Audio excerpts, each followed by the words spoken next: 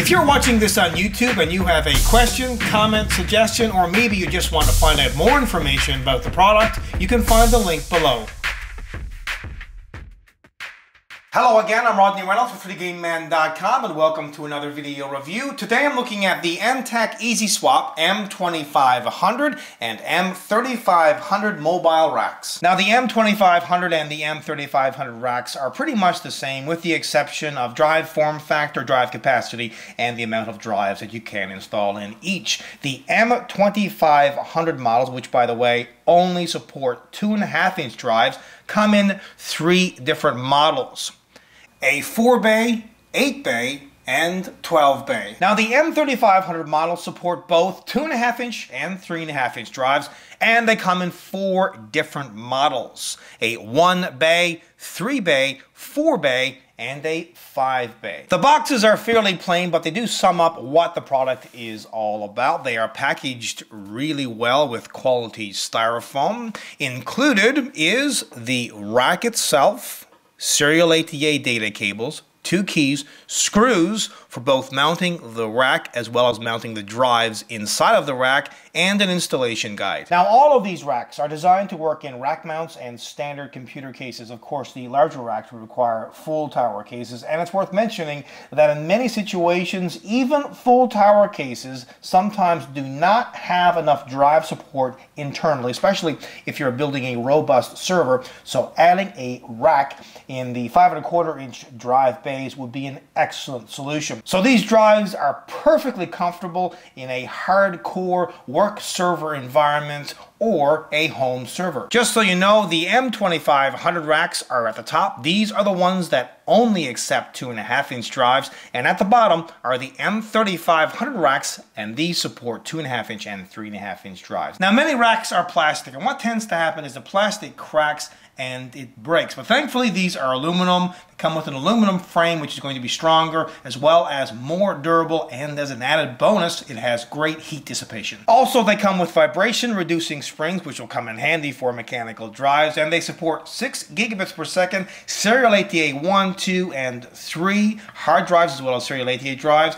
and SAS 1 and 2 hard drives and serial ATA drives. Now, as for capacity, well, the M2500 models support up to 2 terabyte drives per bay and the M3500 models support up to 4 terabyte drives per bay. Plus, they are hot swappable, and this is super convenient as you can remove and install drives on the fly. This is super easy to do, and it means less downtime. As well, RAID support is possible on the multi-drive models, and is only limited really to the RAID controller the drives are attached to. Also, they support Windows, Mac, and Linux operating systems. Now let's have a closer look around the M3500 4-bay rack. At the front, you've got the four bays. These come out by pulling here and then you can slide the whole bay out. You can install either a 3.5 inch or 2.5 inch drive on the inside. As well, you can lock this using the included key. Now on the right, you've got a number of LEDs. These are for the drives. Also, there's one for the fan and temperature. Now the LEDs for all of these will change color. It really depends on what's going on. So let's start at the top, the temperature LED. If it is green, that means everything is normal. But if it's red, that means you're exceeding the set temperature. And as for the LEDs for the drives, if it's green, that means it's powered on. Green with an orange blink means there's disk activity. Red means the drive is powered, but there's no data connection at the back.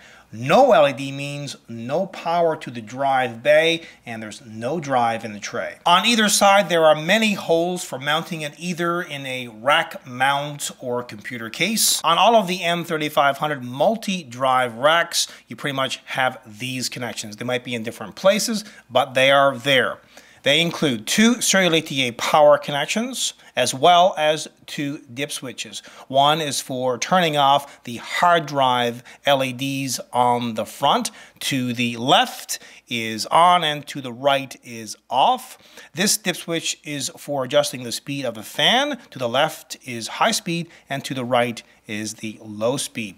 On the right are the data connections. They include an 80 millimeter quiet fan and on the left is a bunch of jumpers and these are for setting the temperature threshold as well as drive options like for example if you want to have serial ATA drives and or SAS drives. Now this is the single M3500 rack. As you can see there is only one LED for hard drive activity. At the back they do not include a fan but it looks like you can install one. This is a dip switch for turning the hard drive LEDs on or off. Here's the serial ATA power connection and the data connection. Now the 2500 two and a half inch racks really have the same general layout except of course this particular model accepts only two and a half inch drives and because of that they've changed a few things. It locks the same way but there is no cover. It opens exactly the same. You just pull it out, install the drive and slip it back into place. Now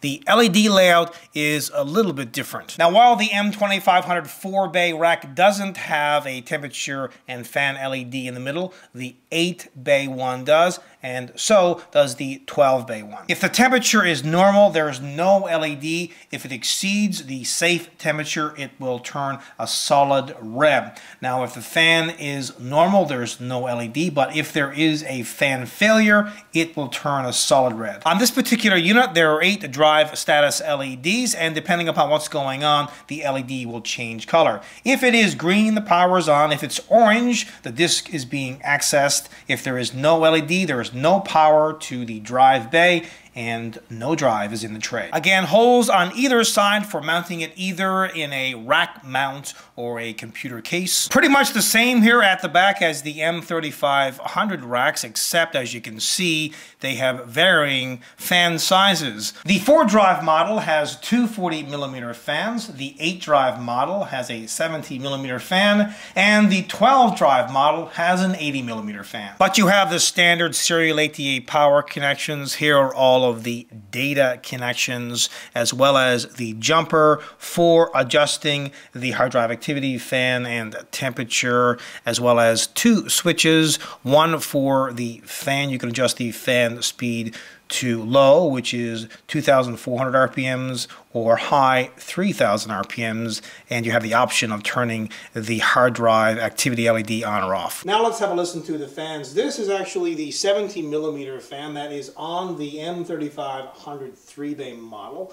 The M3500 4 and 5 bay models come with 80 millimeter fans. So first on the low speed,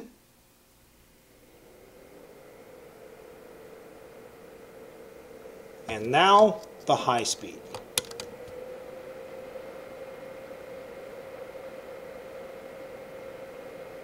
Now the 80 millimeter fan, again at the low speed first.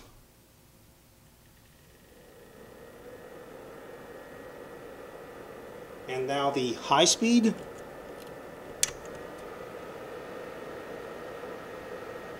And by the way, all of these fans move the warm air out the back of the rack. Now this is the M2500 4 bay rack with the two 40 millimeter fans. Have a listen.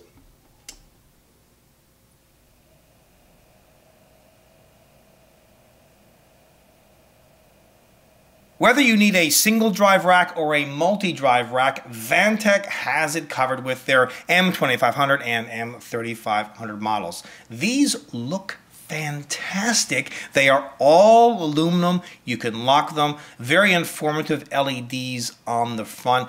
Easy to install drives as well. They are hot swappable. Now as for performance, that really depends on the drives that you install as well, what kind of RAID setup that you have. But all things considered, these racks are 100% kick-ass. Until next time, take care. How do you think this product stacks up? To vote, head on over to 3dgameman.com and while you're there, check out the pricing.